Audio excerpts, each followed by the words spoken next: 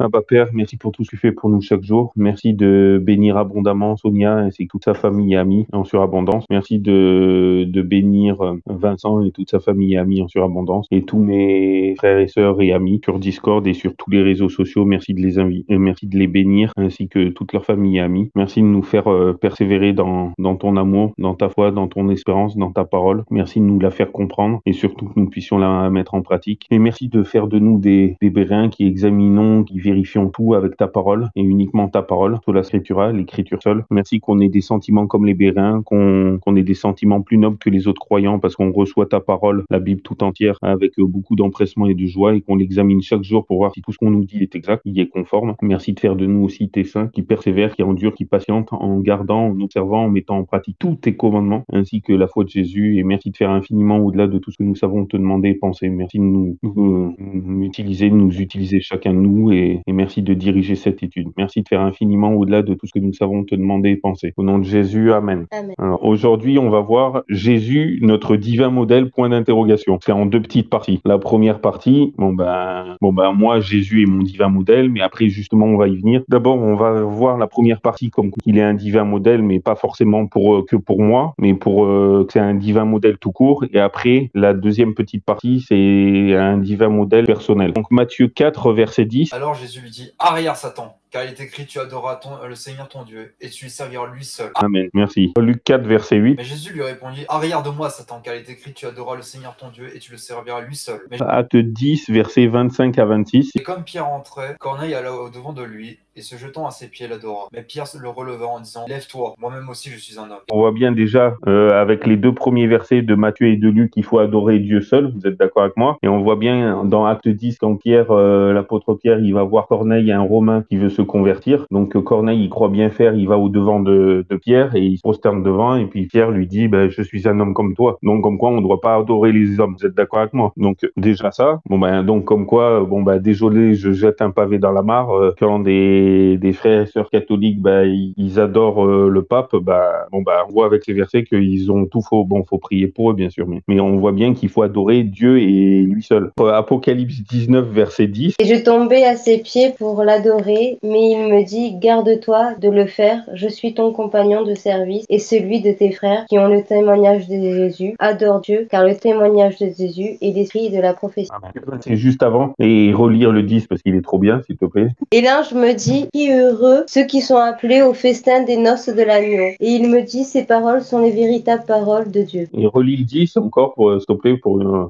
Et je tomberai à ses pieds pour l'adorer, mais il me dit, garde-toi de le faire, je suis ton compagnon de service et celui de tes frères qui ont le témoignage de Jésus. Adore Dieu, car le témoignage de Jésus est l'esprit de la prophétie. Amen. Euh, dans Matthieu d'abord 4 et Luc 4, on voit bien qu'il faut adorer Dieu seul. Dans Acte 10, on voit bien qu'il faut pas adorer les hommes, aucun homme que ce soit. Et même là dans Apocalypse 9, on voit bien qu'il faut pas adorer les anges non plus. Donc les saints non plus, encore moins. Apocalypse 22, verset 9. Mais il me dit, garde-toi de le faire, je suis ton compagnon de service et celui de tes frères, les prophètes, et de ceux qui gardent les paroles de ce livre, Amen. Et je vais lire le verset 8. Et moi, Jean, je suis celui qui ai vu et entendu ces choses, et après les avoir entendues et vues, je me jetai aux pieds de l'ange qui me les montrait pour l'adorer. Donc on voit bien avec les deux versets de, les deux textes d'Apocalypse, les 19 et 22 qu'il faut pas se prosterner devant les anges. Donc euh, vraiment Dieu seul, le Créateur seul. Dans Marc chapitre 2, donc c'est guérison d'un paralytique. Donc ça, ça, se passe du verset 1 au verset 12. Donc je vais vous lire dans la version Osterwald. Quelques jours après, Jésus revint à Capernaum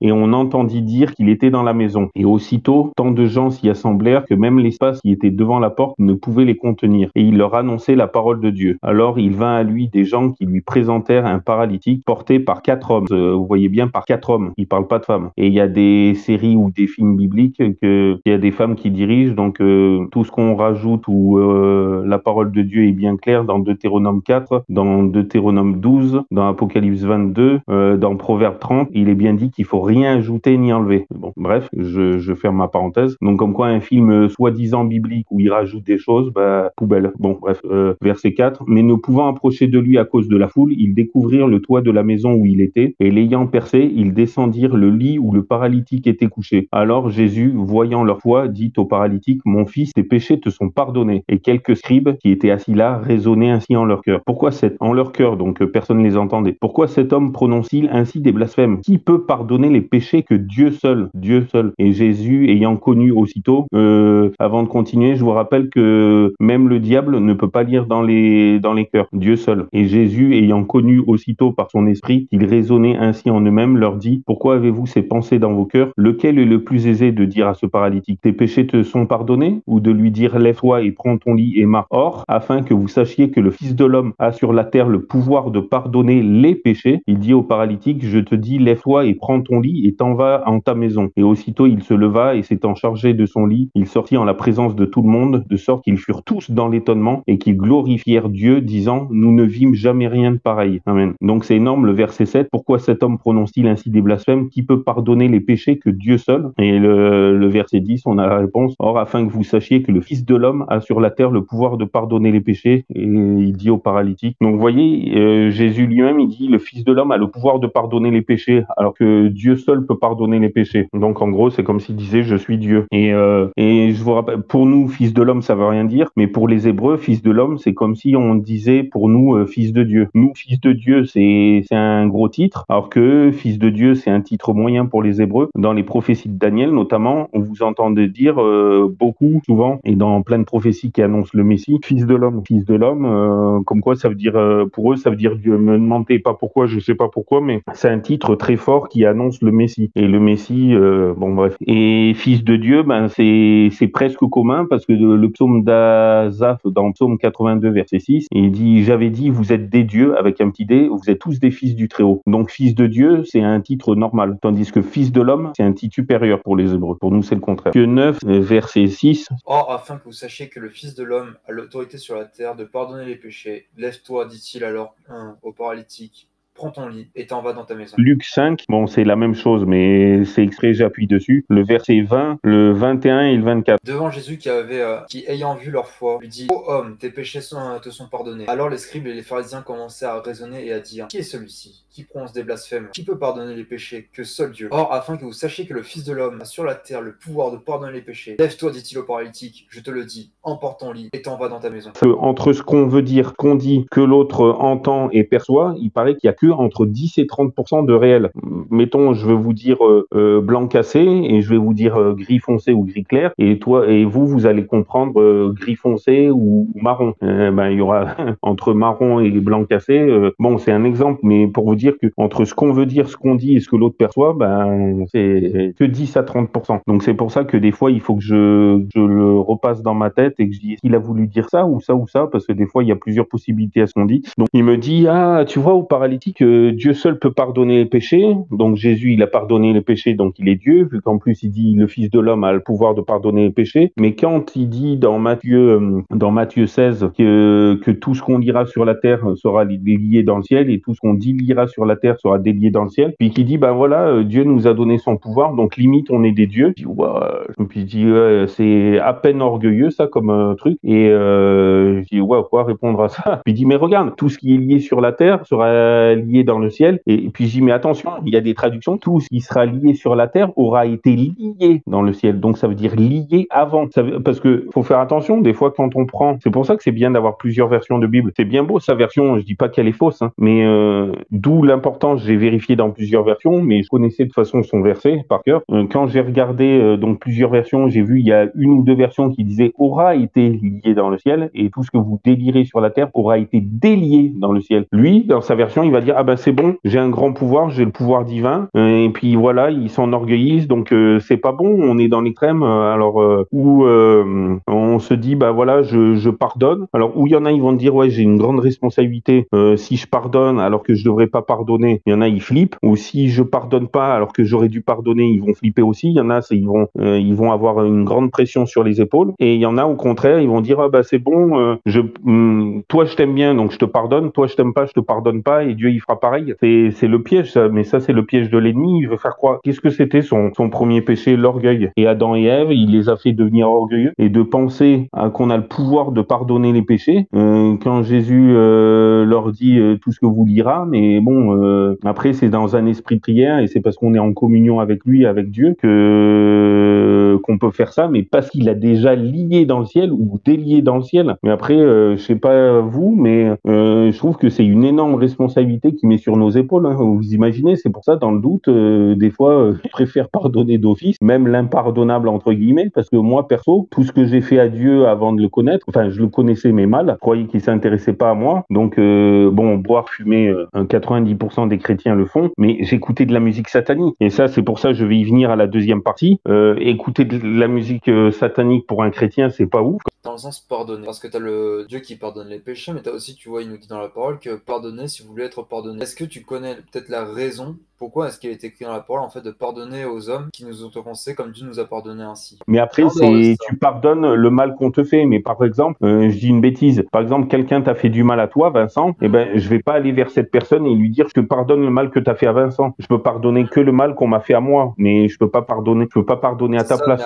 On s'encourage et qu'on se pardonne mutuellement et qu'on n'ait pas de rancœur en l'un envers l'autre parce que sinon, ça serait euh, c'est la base de son commandement, c'est l'amour. Et Jean 13, 34 à 35 nous dit bien euh, euh, je vous donne un commandement nouveau, aimez-vous les uns les autres, comme je vous ai aimé, aimez-vous les uns les autres. À ceux-ci, tous connaîtront que vous êtes mes disciples. Donc disciple, ça veut dire qui est censé suivre, imiter et refléter son maître. À ceux-ci, tous connaîtront que vous êtes mes disciples si vous avez de l'amour les uns envers les autres. Et si tu pardonnes pas ton frère, eh ben, euh, qu'est-ce que vont penser les païens autour de toi ou les religieux? Bah tiens, il est comme moi, quoi. Donc euh, quelle est quelle est la différence? Il a pas d'amour en lui. dit, il y a un texte dans Matthieu, dans Luc, dans, de partout où il dit, ben si vous aimez euh, les, gens qui vous aiment, euh, les païens aussi. Quelle différence avec les païens Je paraphrase exprès. Et euh, si vous faites du bien à ceux qui vous qui vous font du bien, ben les païens aussi agissent de même. Donc quelle différence avec eux quoi Et bon, moi je dis pas que je suis parfait, loin de là. J'ai plein de choses à redresser. Enfin, c'est Colossiens 1 verset 9 jusqu'au verset 17, mais c'est surtout le verset 14 qui nous dit c'est pourquoi depuis le jour où nous l'avons appris, nous n'avons cessé de prier pour vous et de demander que vous soyez remplis de la connaissance de sa volonté en toute sagesse et intelligence spirituelle, de telle sorte que vous vous conduisiez d'une manière digne du Seigneur, digne Seigneur, pour lui plaire en toutes choses, pour lui plaire en toutes choses, portant des fruits, euh, pour lui plaire en toutes choses, portant des fruits en toutes sortes de bonnes œuvres et croissant dans la connaissance de Dieu. Donc c'est vrai que ce texte, il est pile et dans le première partie sur euh, Jésus et dans nous, euh, est-ce qu'il est notre divin modèle réellement, comme on le dit être, fortifié en toute manière selon sa puissance glorieuse pour avoir toute patience et constance avec joie, rendant grâce au Père qui nous a rendu capable d'avoir part à l'héritage des saints dans la lumière qui nous a délivrés de la puissance des ténèbres, délivrés, et nous a fait passer dans le royaume de son Fils bien-aimé, en qui nous avons la rédemption par son sang, la rémission des péchés. C'est lui qui est l'image du Dieu invisible, le premier-né de toutes les créatures, car c'est en lui qu'ont été créées toutes choses dans les cieux et sur la terre, les visibles et les invisibles, soit les trônes, soit les dominations, soit les principautés, soit les puissances. Tout a été créé par lui et pour lui. Il est avant toute chose et toute chose subsiste par lui. Amen. Donc en qui nous avons la rédemption par son sang, la rémission des péchés. Ben, nos frères et sœurs juifs, quand ils faisaient, euh,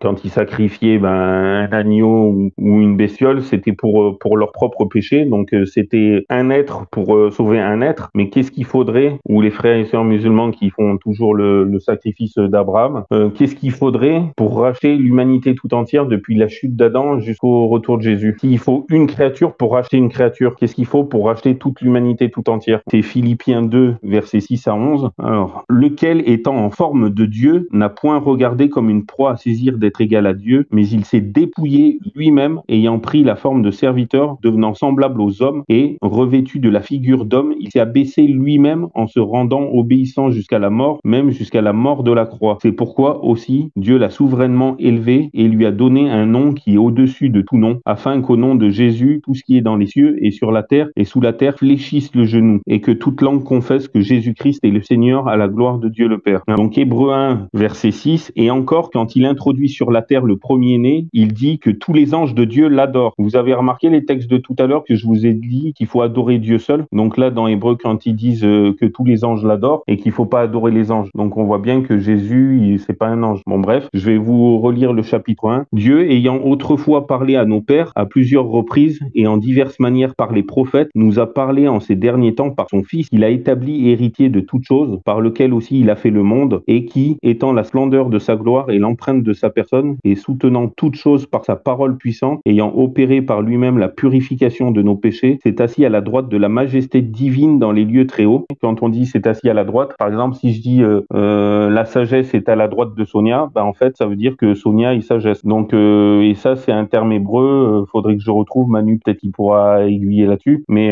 si on dit l'intelligence est à sa droite, ben ça veut dire il est intelligent. Si on dit il est à la droite de Dieu, ben bon, bref.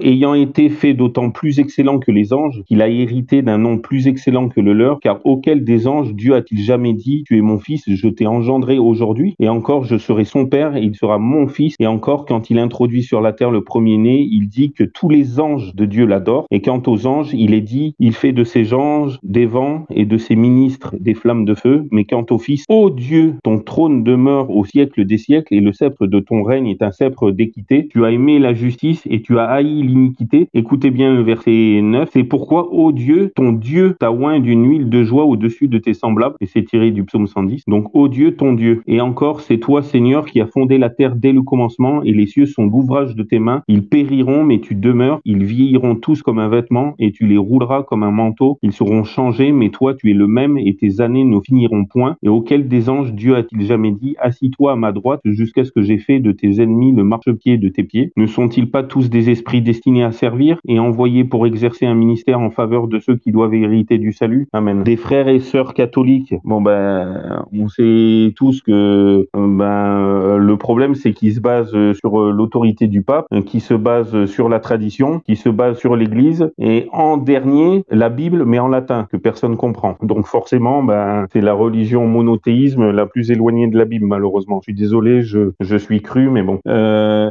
mais euh, ces, ces personnes-là qui sont en, en, partie sincères, et eh ben, ils vont essayer de mener une belle vie et d'être droits. Et il y en a plein qui seront moins pécheurs que moi, en ayant des mots. Alors que des protestants, j'ai vu, qui sont censés se baser sur sola scriptura, je peux recommencer. Je dis, ouais, je dis, mais, euh, je mais excuse-moi, mais tu sais ce que chrétien veut dire?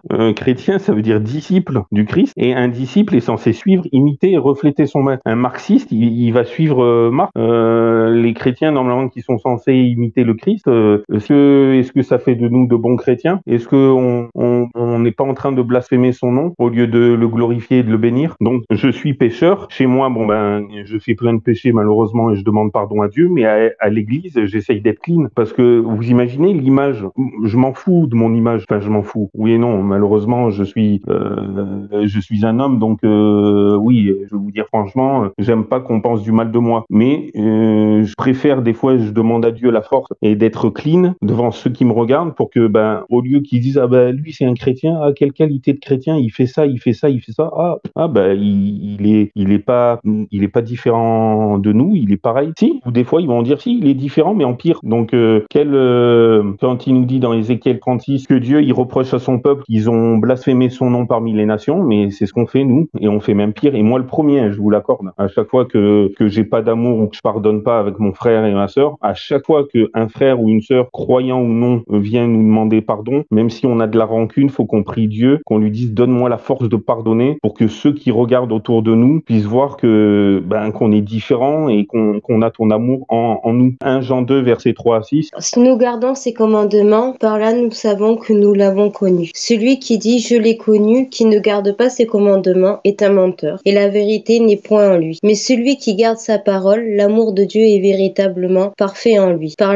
là nous savons que nous sommes en lui. Celui qui dit qu'il demeure en lui doit marcher aussi comme il a marché lui-même. On doit marcher comme il a marché lui-même. Pourquoi? Pas pour être sauvé parce qu'on l'est, mais par amour et reconnaissance parce qu'il nous a créés et, euh, qui nous a sauvés. Euh, dans les Écritures, c'est marqué aussi nous, l'aimons parce qu'il nous a aimés en premier. Et c'est ça qui me tue. Donc les catholiques, ils ont une ben ils ont une mauvaise connaissance de la Bible parce que ça passe en dernier chez eux et en plus en latin, mais ils vont faire des choses mieux que les protestants. Et les protestants qui sont sur, basés sur sola scriptura, eh ben, ils vont faire euh, tout et n'importe quoi parce qu'ils vont dire Dieu est amour. Alors, où on va penser dans les extrêmes, Dieu est amour, il peut me pardonner tout, je peux faire n'importe quoi, ou on est, on part dans l'autre extrême, ah Dieu, il est juste, donc euh, faut pas que je fasse un peu de travers, sinon euh, je vais hériter les flammes de l'enfer. Non, c'est le milieu qu'il faut trouver vraiment, Jacques 1.5, celui qui manque de sagesse la demande tout simplement à Dieu qui lui donnera sans reproche et elle lui sera accordée et elle lui sera donnée. Et ça, ce qui est valable pour la sagesse, c'est valable pour l'amour. Si on manque d'amour, si on manque d'empathie, de compassion, de pardon, faut la demander à Dieu. Je sais pas comment il a connu euh, Dieu réellement, qu'il a converti, mais il est devenu catholique et maintenant il dit il est clean. Sauf que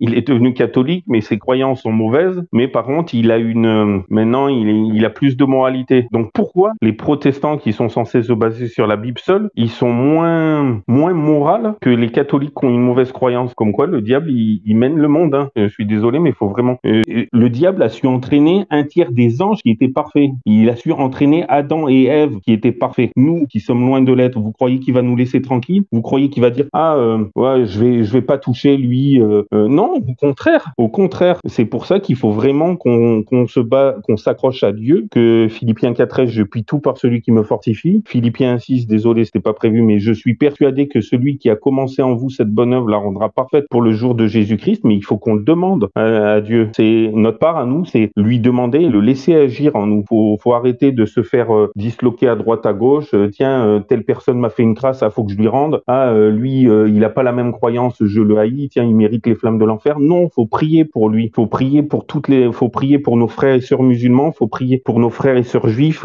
pour les athées, pour les catholiques, les protestants. Et, et moi, je suis très loin de l'apôtre Paul lui-même. Il dit bien, Jésus-Christ est venu pour sauver les pécheurs, dont je suis le premier. Et pourtant, il n'avait pas beaucoup de choses répréhensibles. Imaginez, vous allez vous marier avec une femme. Je parle pour les, pour mes frères ou pour mes sœurs. Vous allez vous marier avec un, homme. Euh, vous avez envie de lui plaire parce que vous l'aimez, pas pour qu'il vous aime, parce qu'il vous aime déjà. Et ben c'est pareil pour Dieu. Pourquoi on fait des œuvres entre guillemets? C'est pas des œuvres de la loi, mais c'est des œuvres de foi par amour et reconnaissance. Après, ça coule de source. Si on l'aime vraiment on reste pas dans notre dans notre bulle et ah, tiens un critique, tiens une critique, ben je le critique et tiens il, il, me maudit, ben je le maudis. Qu'est-ce que Jésus a dit? Il a dit aimez vos ennemis, priez pour vos ennemis, bénissez vos ennemis. On le fait à peine pour nos amis. Alors comment voulez-vous qu'on le fasse pour nos ennemis? Mais je vous avoue, j'ai eu du mal. Hein. J'ai eu du mal à prier pour mes ennemis. Euh, je me suis, je me suis forcé. Et en fait, euh, des fois, je disais à Dieu, change-le, fais que qu'il arrête de me, de m'embêter. Euh, et ben en fait, Dieu, il m'a changé, il m'a fait supporter cela. Et depuis que je priais pour ceux ou ces personnes, et ben ça passe mieux. Et ces personnes euh, maintenant m'embêtent plus. Et au contraire, on, on est devenus amis. Donc euh, des fois, c'est nous qui devons changer plus que l'autre. On croit toujours que l'autre il est il est mauvais, mais nous on a beaucoup de, de part à faire. Faut vraiment qu'on qu'on se remette en question et que Colossiens 3 versets 12 à 17, notamment Apocalypse 22 14, 90% des versions de Bible vont dire heureux ceux qui lavent leur robe afin qu'ils aient droit à l'arbre de vie, etc., etc. Alors que Osterwald Martin et la Torah accomplie, c'est que le Nouveau Testament, malheureusement fait par des Juifs messianiques de 2021, mars 2021, ils vont dire heureux ceux qui gardent ses commandements au lieu de heureux ceux qui lavent leur, leur robe. Et c'est basé sur le textus receptus des, des copies originales des apôtres, le texte reçu. Donc la vraie Bible dite protestante. Bon bref, je ferme la parenthèse. Euh, donc Colossiens 2, verset, euh, c'est pour ça que je préfère euh, Colossiens 3, pardon, verset 12 à 17, qui nous dit revêtez-vous donc comme des élus de Dieu, saints et bien-aimés, d'entrailles de miséricorde, de bonté, d'humilité, de douceur, de patience, vous supportant les uns les autres et vous pardonnant les uns aux autres, si l'un a quelques sujets de plainte contre l'autre, comme Christ vous a pardonné, vous aussi faites de même. Mais par-dessus toutes ces choses, revêtez-vous de la charité ou de l'amour, suivant les versions bibliques, qui est le lien de la perfection. L'amour, c'est le lien de la perfection. Et que la paix du Christ, de Christ, pardon, à laquelle vous avez été appelés en un seul corps, règne dans vos cœurs et soyez reconnaissants que la parole de Dieu, de Christ, habite abondamment en vous, en toute sagesse. Instruisez-vous et exhortez-vous les uns les autres par des psaumes, par des, et des hymnes et des cantiques spirituels, chantant dans vos cœurs au Seigneur avec reconnaissance. Et quoi que vous fassiez en parole ou en œuvre, faites tout au nom du Seigneur Jésus, rendant grâce par lui à Dieu le Père. Amen. Vous imaginez si on, quand il dit quoi que vous fassiez en parole ou en œuvre, bien sûr de bon, parce que si on fait du mauvais, est-ce qu'on glorifie Dieu? Je pense pas. Hein. Donc euh, normalement un chrétien, mais moi le premier, avant j'aimais les films, euh, les films d'horreur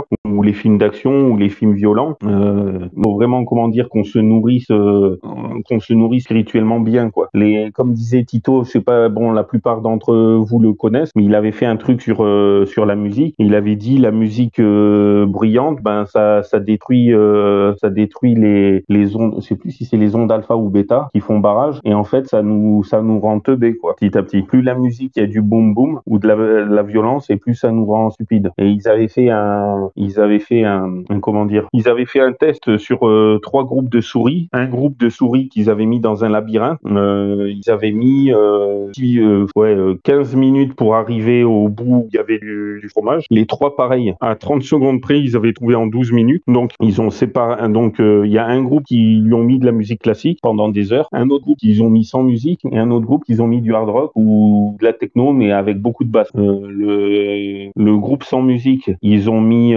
ils ont mis 9 minutes au lieu de... Non, ils avaient mis 14, euh, les trois groupes sans musique. Ils avaient mis 14 la première fois, donc la deuxième fois, ils se rappelaient. Et sans musique, ils ont mis 9 minutes, donc 5 minutes de moins. Ceux avec la musique classique, ils ont mis 3 minutes. Ça les avait stimulé leur... Mais une musique classique douce, hein, que avec des sons aigus, mais pas trop aigus non plus, pas trop perçants. Et ceux qui avaient mis euh, le hard rock, la musique classique, euh, ou la techno, avec beaucoup de boom boom, ils ont mis plus de 30 minutes et ils se sont entretués, arrivés au fromage. Donc vous voyez, la, musique, bah, c'est pareil pour les films et surtout pour les films dits chrétiens. Si, si c'est bourré de plein de mauvaises choses dedans qui sont pas bibliques, ben inconsciemment notre cerveau il va remplacer euh, la Bible par ces trucs. Surtout si ça nous a vachement émoustillé, si c'est super émouvant, ça nous fait la larme à l'œil, et ben inconsciemment notre cerveau il va il va enregistrer ça, puis on va laisser tomber les écrits de la Bible, consciemment ou, ou inconsciemment plutôt. Et c'est comme je dis, imaginez, on nous donne un plat avec 99% de bonnes choses et 1% de Est-ce que c'est les 99% de bonnes choses qui vont nous sauver ou c'est les 1% de poison qui vont nous tuer? Ben, C'est pareil pour la spiritualité. Si on se nourrit mal ou pas du tout, donc si on n'ouvre jamais notre Bible, qu'on se nourrit mal, ben, qu'est-ce, que, qu'est-ce qui se passe quand on se nourrit pas? On meurt de faim. Ben, on mourra euh, spirituellement mais de faim. Et si on se nourrit que de cochonneries, ben, on va grossir, on va être boulimique mais c'est pas bon non plus. Et si on se nourrit de poison, ben, ça va nous tuer aussi. Sauf que l'ennemi, il est subtil. Faut pas oublier qu'on l'appelle le malin et dans le malin, il y a mal et il y a malin parce qu'il est rusé. Il a entraîné un tiers des anges et nos premiers parents. Donc faut pas se croire, ah tiens, on est à l'abri, euh, euh, ta parole est une lampe à mes pieds, une lumière sur mon sentier, puis euh, psaume 119, 105. Mais oui, c'est bien beau d'avoir une Bible, mais si on l'ouvre jamais, et essayez de vous diriger la nuit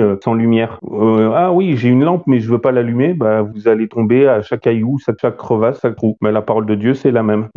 c'est bien de l'avoir, mais il faut l'ouvrir et l'étudier. Et pas écouter Pierre-Paul Jacques, mais tout vérifier par nous-mêmes. Soyons des Béréens. Acte 17, 11. Ouais.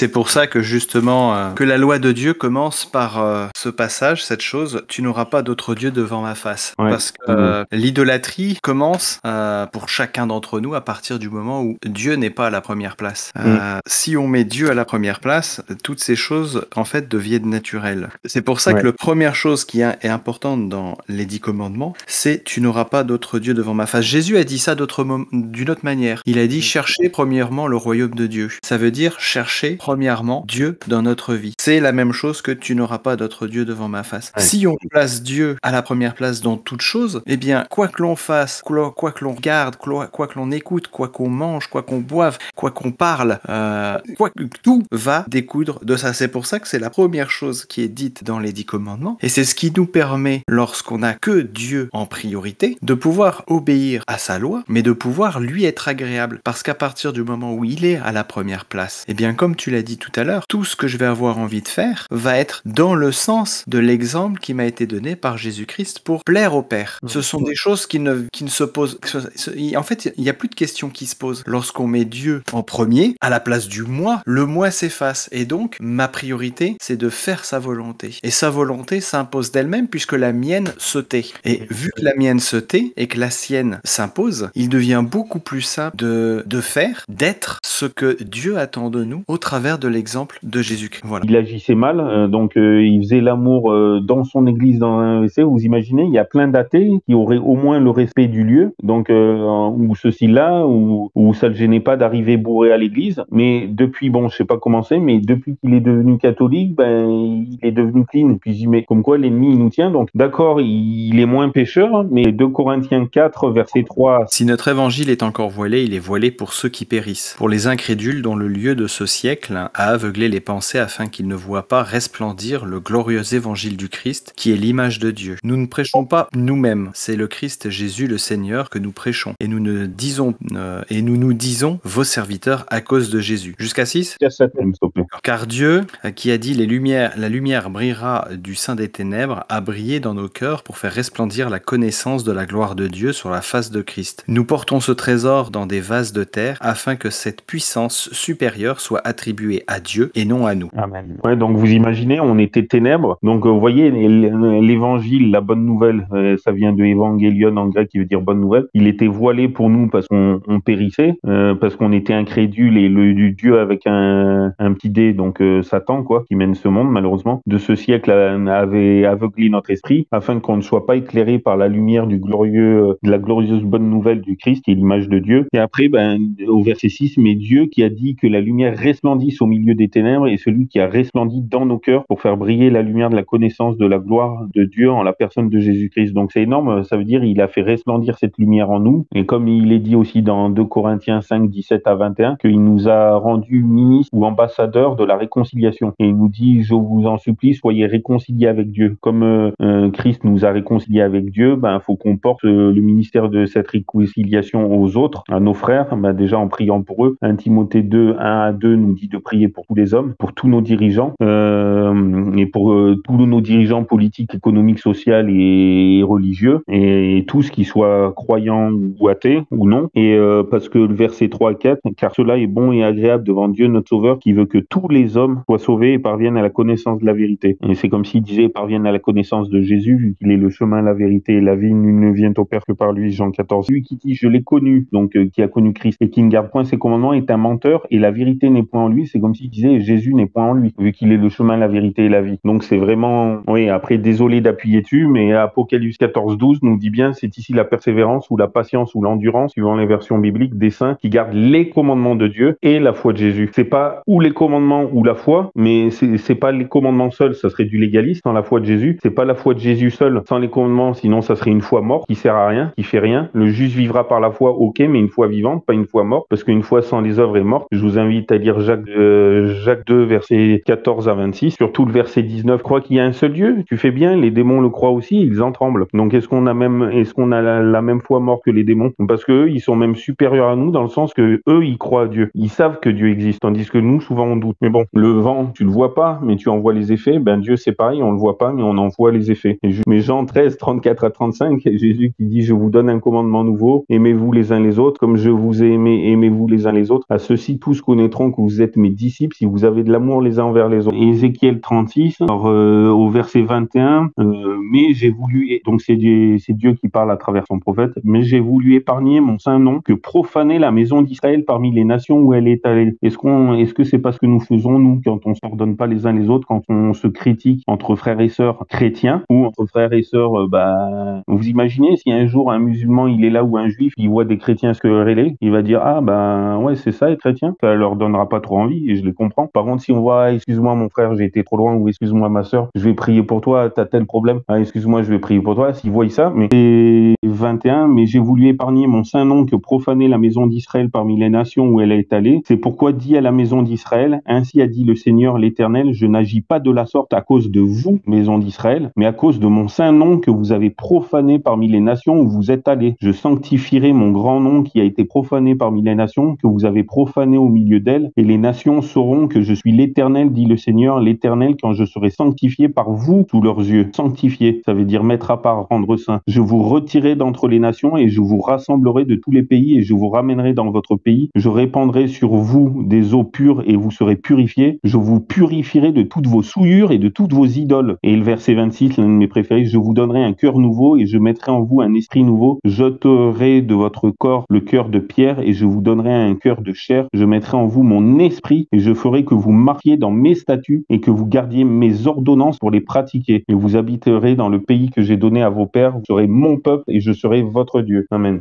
et le verset 29, je vous délivrerai de toutes vos souillures. J'appellerai le froment et le multiplierai et je ne vous enverrai plus la famine. Amen. Donc il nous délivrera de toutes nos souillures. Je sais pas comment, euh, je voulais bien paraître aux yeux de, de tous, même si c'était pour, euh, pour les flatter et dire n'importe quoi. Et donc je, je haïssais les musulmans, les juifs, je haïssais les protestants parce que j'étais catholique non pratiquant, mais même les catholiques qui pensaient différemment moi, je les haïssais. En fait, il y a que moi que j'aimais aimais, mais je faisais croire que je les aimais. Et puis, et maintenant, c'est tout le contraire. J'aime tout le monde. Enfin, Dieu m'a fait aimer tout le monde et je prie pour eux aussi. Et maintenant, je m'en fous s'ils pensent mal de moi. Enfin, je m'en fous. Euh, en fait, je veux, je veux dire la parole de Dieu telle qu'elle est, sans édulcorer le message. Et tant pis s'ils pensent mal de moi, mais je préfère plaire à mon Dieu et déplaire à mes frères et sœurs que, que le contraire. Quoi. Avant, c'était le contraire. T'es laissé Avant, modeler par Dieu. Voilà. Il a dans ta vie. Ah ouais, c'est clair, parce que maintenant j'ai des amis musulmans et juifs et euh, euh, des fois ils vont m'insulter. Euh, certains juifs, je vais rien dire. Par contre, s'ils insultent Jésus, là j'ai du mal à rester en place. Mais, avant, j'étais pas pas. enfin, si, j'ai toujours. C'est la seule qualité que j'avais, c'est la patience. Mais j'étais pas quelqu'un de, convenable et de, de fréquentable, on va dire. Et moi, à la place de Dieu, le Eric d'avant, je me serais détruit, quoi. Parce que j'écoutais de la musique satanique qui glorifiait l'ennemi, qui insultait Dieu. Et Dieu, malgré ça, il m'a pardonné. Mais comme, comme la femme qui pleurait au pied de Jésus et qui essuyait ses, euh, qui essuyait ses larmes avec ses cheveux, et ben, elle l'aimait plus parce qu'elle a été pardonnée plus. Qui aime peu, euh, qui est pardonné peu aime peu, qui est pardonné beaucoup, ben, aime beaucoup. Et moi, il m'a pardonné euh, ces mauvaises choses. C'est pour ça que j'en suis infiniment reconnaissant et j'aimerais que, ben, le transmettre aux autres et dire que oui, Dieu existe. Euh, moi qui étais alcoolique, drogué et, et satanique, eh ben, il a fait de moi quelqu'un de sobre, végétarien et voulant devenir pasteur. Donc, euh, euh, oui, on voit pas Dieu, mais on en voit les effets. Parce que c'était, à la vue humaine, c'est impossible de, de changer comme ça. Et même ma famille voyait, ah, tiens, il y a un changement, ça fait presque peur. Donc, il m'a dit, ouais, j'aimerais avoir cette même passion qui te donne des ailes, qui te rebooste, quoi, malgré toutes les épreuves de la vie que j'ai eues. Mais après, c'est en dents de scie, hein. Je vous rassure, des fois, ma foi, elle est un peu haute, et puis deux secondes après, elle sera super basse, mais Dieu me relève à chaque fois, quoi. Je puis tout par celui qui me fortifie. Dieu l'a vraiment gravé en moi, Philippiens 4.13. Vraiment qu'on qu'on prie euh, que Dieu nous change.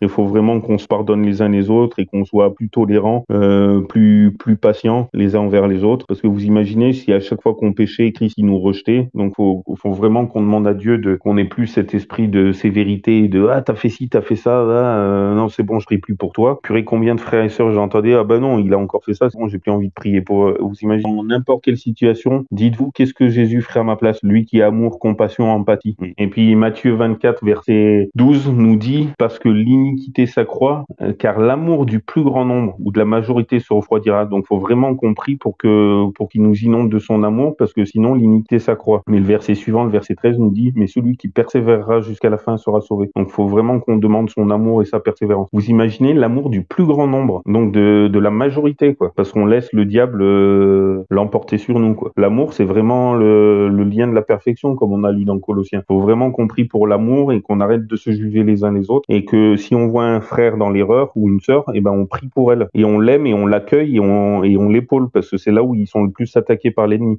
Merci pour tout ce que tu fais pour nous chaque jour. Merci de bénir euh, Laura ainsi que toute sa famille et amis en surabondance. Merci de bénir Manoa, toute sa famille et amis en surabondance. Merci de bénir Vincent et toute sa famille et amis en surabondance, ainsi que Sandra et sa famille et amis en surabondance. Merci de bénir Léa et toute sa famille et amis en surabondance. Manu qui était là et toute sa famille et amis en surabondance. Euh, Robin qui était là un court et toute sa famille et amis en surabondance. Merci de bénir aussi mon Mathieu ainsi que toute sa famille et amis en surabondance. Merci de bénir euh, Sonia et toute sa famille et amis aussi en surabondance. Merci de travailler dans le cœur de ses parents, de, son compagnon, de, de toutes nos familles et amis, de chacun de nous tous. Et merci de bénir ma famille et amis en surabondance. Merci de travailler en eux, qu'ils puissent voir euh, l'immense amour que tu as pour chacun d'eux. Merci de, comme tu dis dans Philippiens 6, apôtre Paul, il est persuadé que toi qui as commencé cette bonne œuvre en chacun de nous, tu la rendras parfaite pour le jour de, de ton retour. Donc merci de faire cela en nous parce que tu nous dis dans ta parole que tout est possible à celui qui croit. Marc 9, 23, la fin du verset. Matthieu 21, 22, tu nous fais la promesse que tout ce que vous demanderez avec toi par la prière, vous le recevrez. Luc 1, 37, car rien n'est impossible à toi, mon Dieu. Merci pour ces belles promesses. Merci de nous guérir tout spirituellement, psychologiquement et physiquement s'il y a lieu. Tu nous faisais la promesse dans Jérémie 17, 14. Éternel, guéris-moi et je serai guéri. Sauve-moi et je serai sauvé, car tu es ma louange, ma gloire. Donc merci d'être notre sauveur, notre guérisseur, notre louange, notre gloire, notre tout. Mais merci de nous exhorter les uns les autres, de qu'on soit remplis de ton amour. Merci qu'on bénisse ton saint nom. Merci que nous ne le profanions plus parmi les nations. Et j'aimerais te réclamer aussi euh, acte 1, verset 8, mais l'actualiser. Mais nous recevrons une puissance, la puissance de ton Saint-Esprit survenant sur nous, et nous serons tes témoins dans chacune de nos villes, dans chacun de nos pays, euh, dans l'Europe et jusqu'aux extrémités de la terre. Merci pour toutes ces belles promesses. Merci de nous faire tenir coûte que coûte, et merci de, nous donner les bons mots, les bonnes paroles pour euh, nos familles, nos amis qui te connaissent pas, et pour un maximum de nos contemporains. Et merci que toutes les personnes que tu nous mets sur, euh, sur la route, on puisse les fortifier, les encourager, les, les relever grâce à toi et qu'on soit, comme tu dis dans ta parole, des ambassadeurs, des ministres de la réconciliation. Merci de faire infiniment au-delà de tout ce que nous savons te demander et penser. Merci de poser ta main bienfaisante et guérissante sur Marion, sur le cousin de ma mère Kiro qui a un cancer, sur aussi le fils de Khalid